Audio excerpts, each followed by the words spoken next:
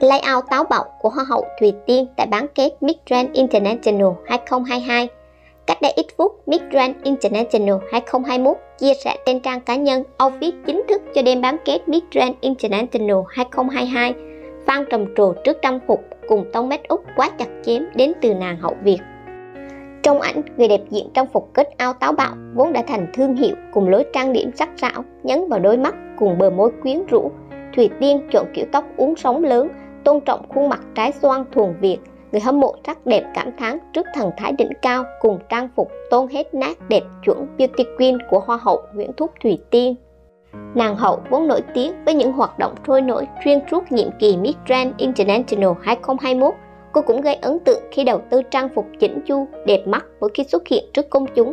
Định hướng phong cách của chân dài theo hướng cắt giải táo bạo, hai đường cong cơ thể cân đối. Dù chiều cao không phải là lợi thế, nhưng Thủy Tiên biết cách tạo điểm nhấn, giúp cô luôn nổi bật khi đọ sắc cùng bất kỳ người đẹp quốc tế nào. Bán kết Miss Grand International 2022 diễn ra trong tối nay thu hút sự chú ý lớn từ truyền thông và công chúng. Hoa hậu Thùy Tiên đồng thời cũng là ban giám khảo cuộc thi. Không chỉ ngóng chờ đương kim hoa hậu xinh đẹp trong đêm nay, Phan Việt cũng dành sự quan tâm cho đại diện được mong chờ là người kế vị của đàn chị Thùy Tiên, Đoàn Thiên Ân. Sau khi chiến thắng của Thùy Tiên, đại diện Việt Nam nhận vô số áp lực khi đem chuông đi đánh xứ người. Sau khi đăng quang Miss Grand Việt Nam chỉ vỏn vẹn 3 ngày. Thiên Ân là đại diện Việt Nam được cử tới Miss Grand International 2022 và được khán giả kỳ vọng. Nối gót đàn chị, outfit bán kết của Thiên Ân cực táo bạo, quyến rũ, chẳng hề kém cạnh đàn chị Thùy Tiên